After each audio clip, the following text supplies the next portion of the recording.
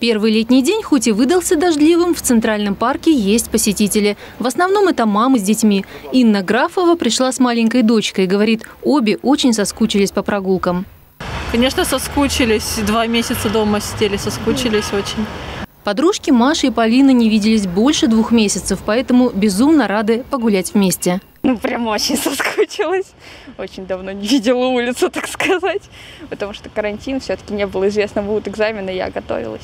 И хотя все видновские парки стали доступны для посещений, стоит соблюдать всеобщие правила безопасности. Согласно постановлению губернатора Андрея Юрьевича Воробьева, на сегодняшний момент парки открыты только для посещения. Запрещено на детских площадках играть, на спортивных площадках также находиться и сидеть на лавочках. Только прогулки. И желательно соблюдать масочный режим, а также дистанцию полтора метра от других посетителей парка.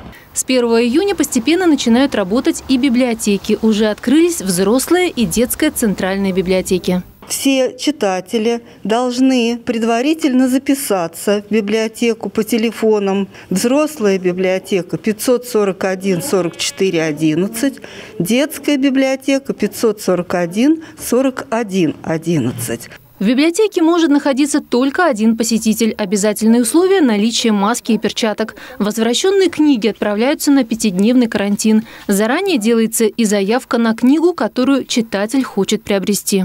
Библиотека работает в своем нормальном режиме, но по летнему графику. Воскресенье у нас теперь выходной день, а понедельник, суббота работает с понедельника по пятницу с 11 часов до 19, в субботу с 10 до 18 часов. С 3 июня начнут работать и все остальные филиалы межпоселенческой библиотеки. Правила выдачи книг в них будут аналогичны.